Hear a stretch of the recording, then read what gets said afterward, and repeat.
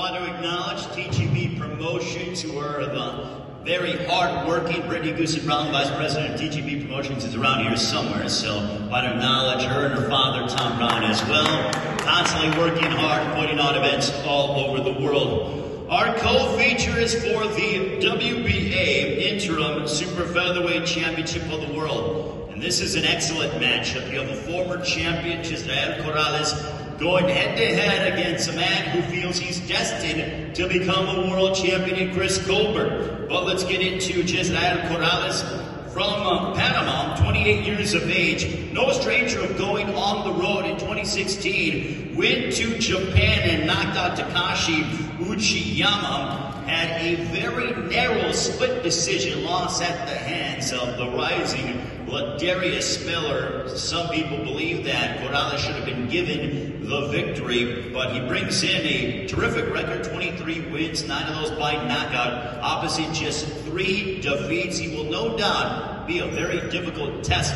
for Chris Colbert. Ladies and gentlemen, please welcome Jezreel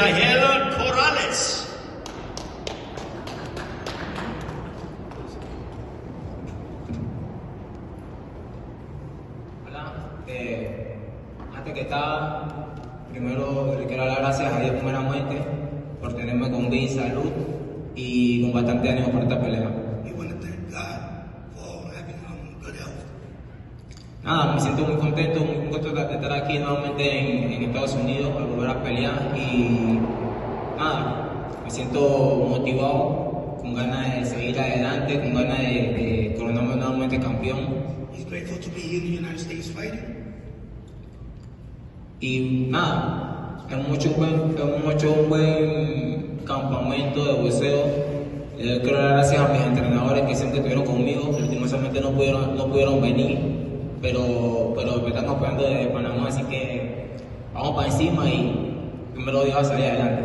He's got a good camp, and he's, he's sorry that his trick, company didn't show up, but he's going forward. Thank you.